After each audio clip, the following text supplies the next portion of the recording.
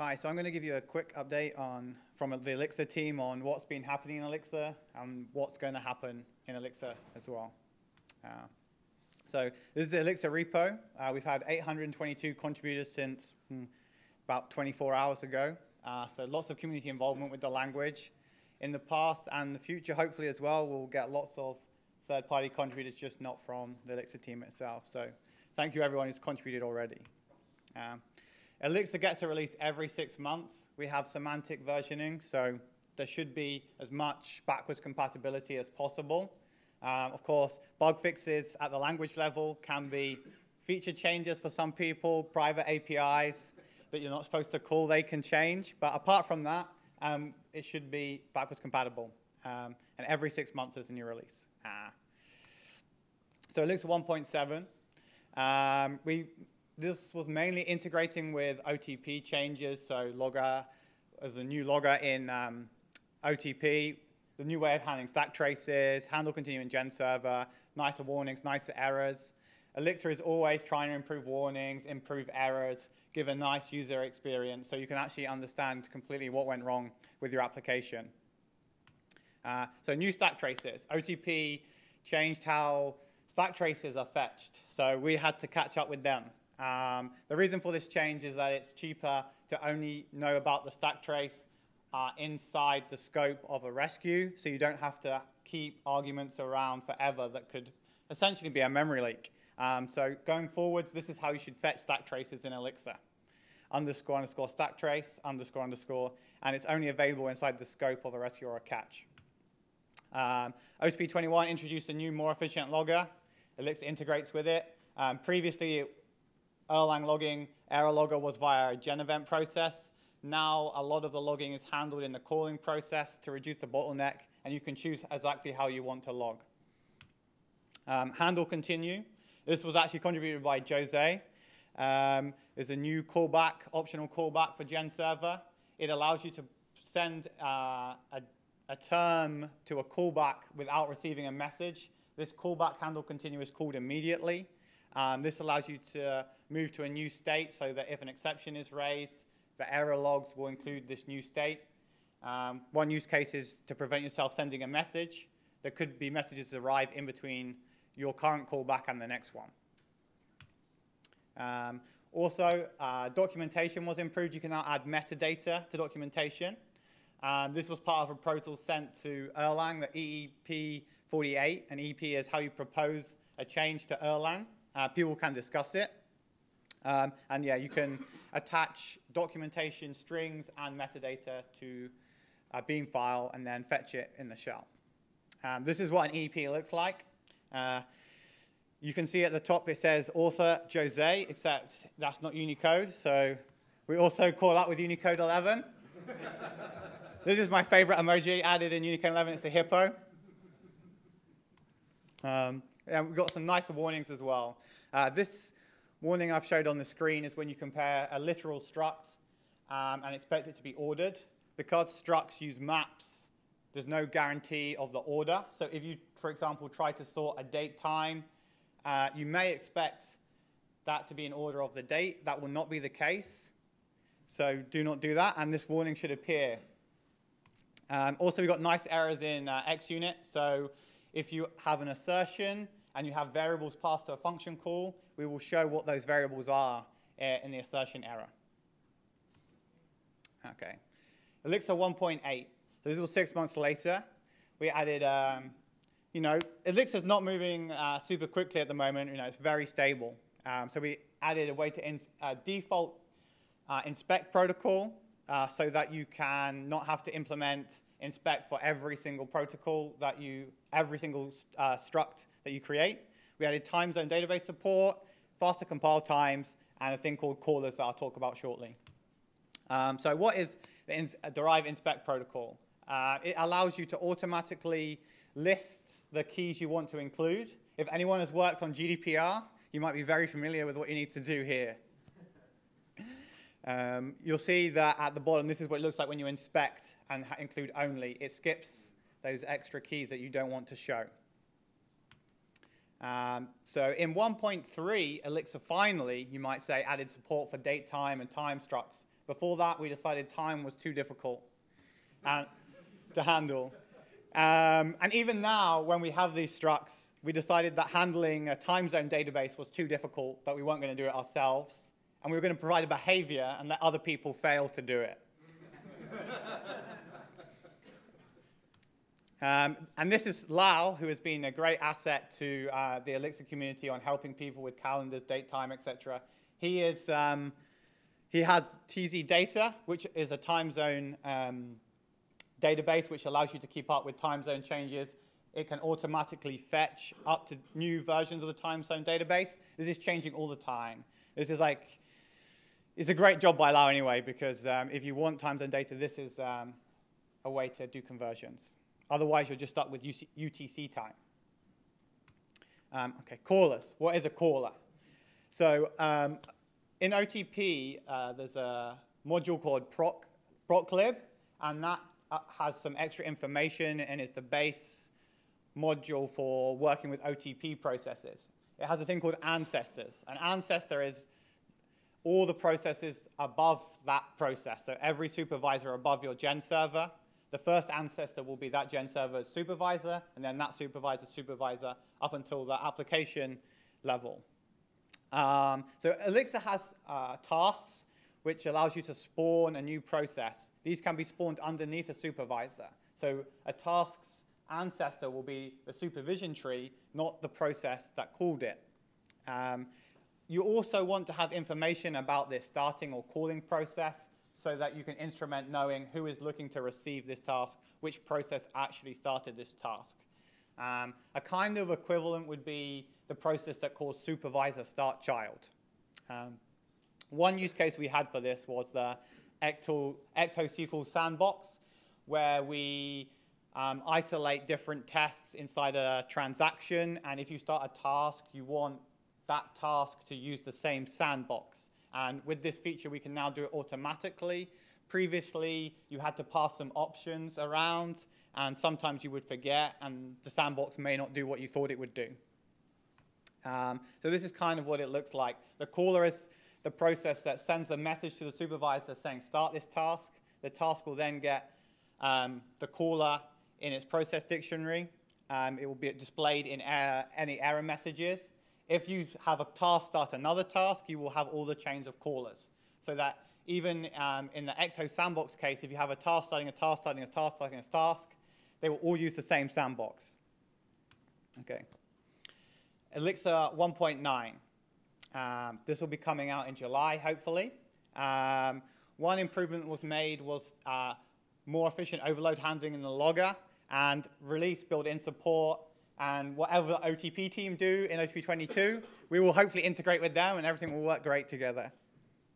Um, so logger overload handling. Previously, overload handling was calculated inside the logger process. This could mean if your logger was slow, suddenly you would have a really big message queue, and you could even potentially run out of memory even with the overload handling.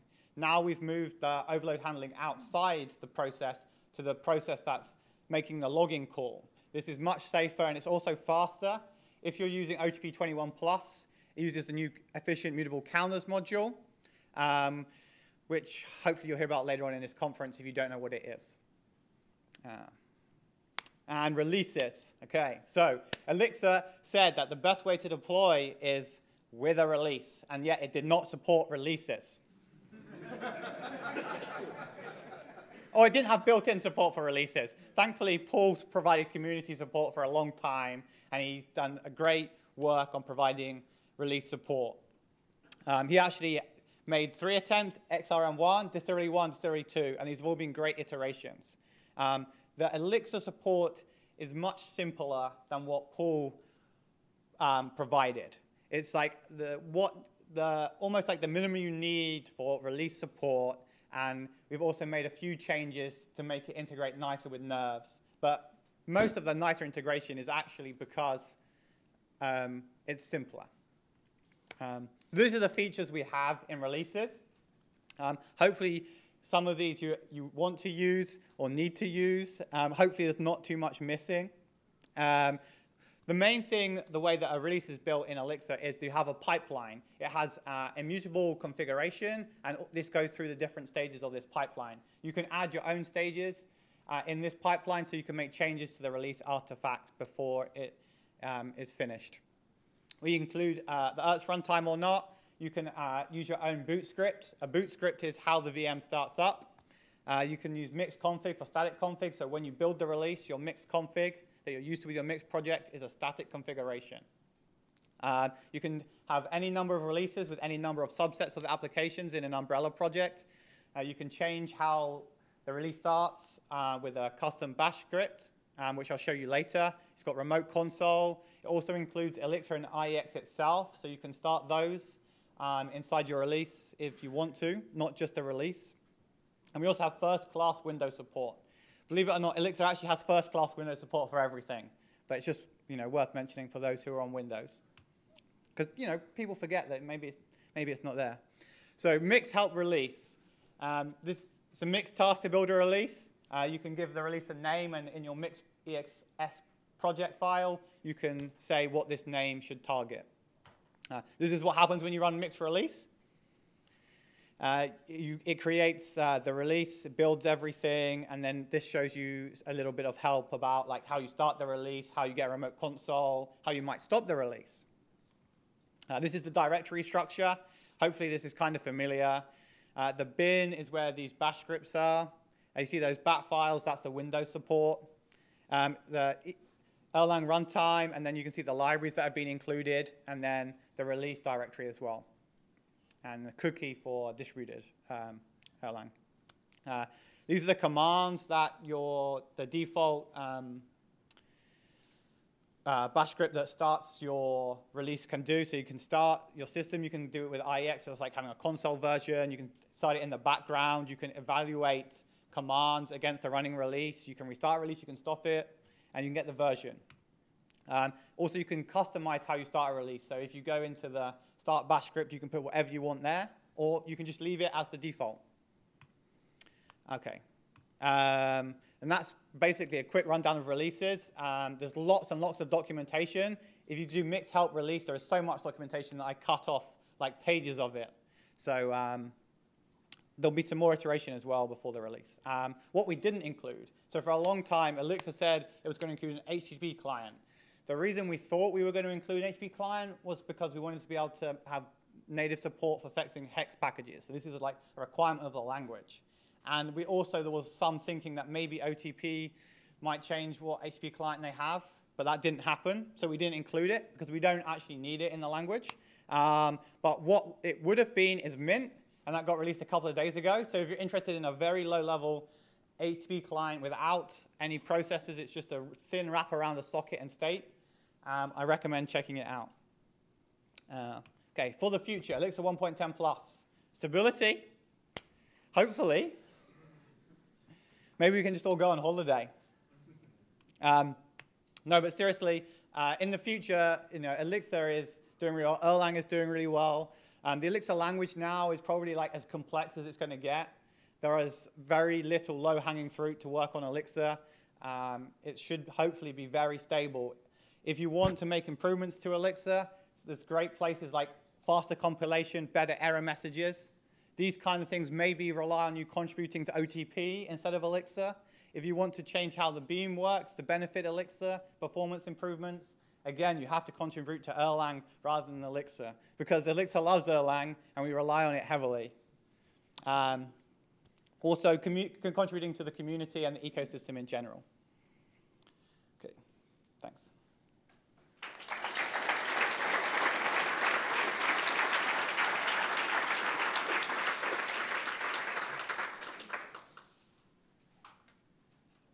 Any questions? sorry. Uh, is there going to be any effort to get uh, callers to work for things besides tests? Probably not. what, what, what, what, would you want it to work for? Like a gen server call or? Um, like, for example, GenStage might be a thing where you have essentially things in a pipeline. You could have many, many callers, so it could be quite difficult. Yeah. Um, in Gen Stage, though, when you receive a message, you do see who it's from. So in your Gen Stage um, ha- handle events, you can get the, the caller there, like you can in a Gen Server handle call as well. So hopefully you don't need it.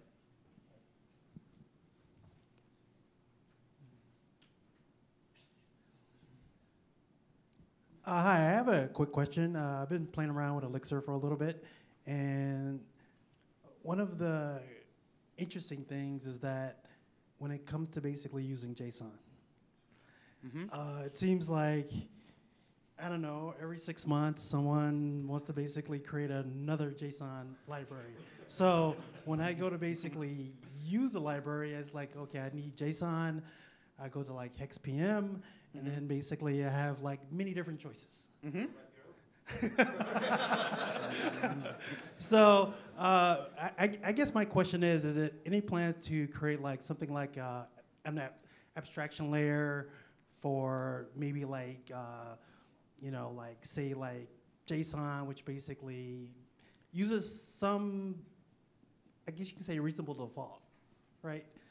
Uh, there's many different versions. I just want to basically use one. Uh, well, it's kind of going Just back to what we didn't include, right? We don't need JSON for the for the language, and as you say, if the, the best practice changes every six months, we as a language can't keep up with that. It's possible um, Erlang will add JSON support. I saw there's a PR open with a BIF for JSON, so who knows? Cool, thanks.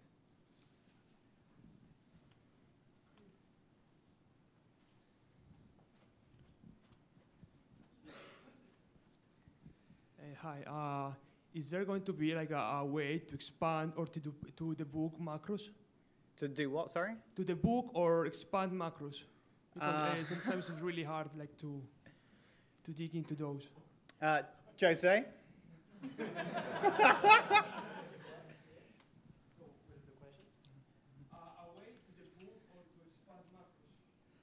Um, so it is it is possible today. We have functionality to to debug and expand macros, but uh, you would have to do it yourself, right? Like so, you would have to like go and say, oh, I want to call this macro with those arguments, so I wanted to expand it.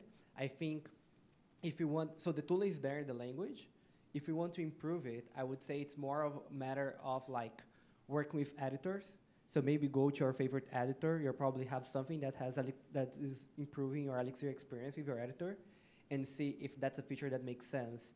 I know that some editors some time ago did have this feature where you could say you would go someplace in your code and you would say expand this, and it would expand everything, and show everything expanded. Um, so it is possible, it's there. I think it's mostly a question of how can we improve the tooling so the developer experience around it is really good.